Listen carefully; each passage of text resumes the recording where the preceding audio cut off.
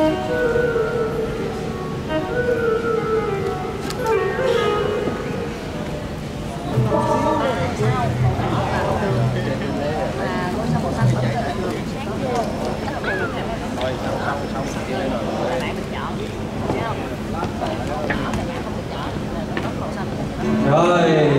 chuẩn bị làm việc.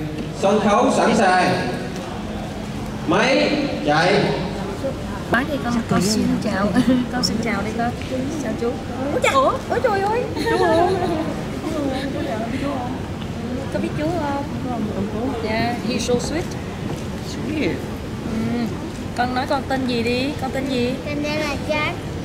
Con tên là Jackie, mấy so tuổi? today, okay? con mấy tuổi? Chú hỏi con nè con về Việt Nam làm gì? Giờ mình ăn chơi. về Việt Nam chơi hả? Được nghỉ hè hả? Dạ. Rồi sau khi con con về lại Mỹ thì con đi đâu? Con đi, con đi trường. à con đi trường hả? Con đi học chứ không phải đi trường. Con con đi đi học. Con đi học. Dạ con đi học lớp 1 lớp 1. à con học lớp 1 rồi. Rồi con lên tới lớp 2. à, lớp 1 xong rồi con tới lớp 2 con phải học giỏi nha. Con học giỏi lắm á. Vừa rồi là con đứng nhất lớp á nguyên một cái bằng khen luôn. Trải ngôi sao lại màu đỏ đi. Trải Để con ngoài ngoài màu ngoài đi học là con Màu học cái đỏ, màu đỏ, màu đỏ, một à con vặn đi con vặn mà ra ra màu đỏ. Vặn đúng rồi màu đỏ đó thấy không? Ba sao là bạn được hay là không được? Màu màu đỏ là được không? Màu đỏ là không được hả? Màu xanh là được hả? À, mấy ngôi sao thì được?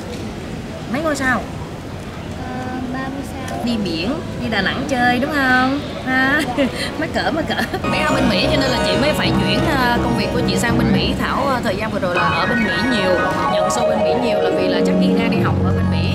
Cho nên là thảo dành thời gian nhiều cho con. Rồi ờ, hè này thì khi mà con về nghỉ hè thì thảo nhận tham gia chương trình đó thì muốn cho bé theo dõi các bạn khác để ờ, để cho bé có biết được rằng là xung quanh mình còn rất là nhiều bạn, có rất là nhiều tài năng.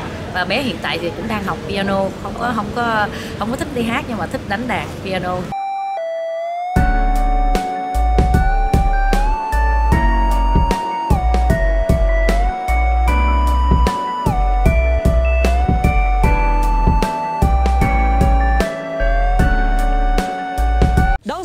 Sẽ thành sao nhí được phát sóng vào lúc 21 giờ chủ nhật hàng tuần trên kênh truyền hình Vĩnh Long 1 từ ngày 27 tháng 8.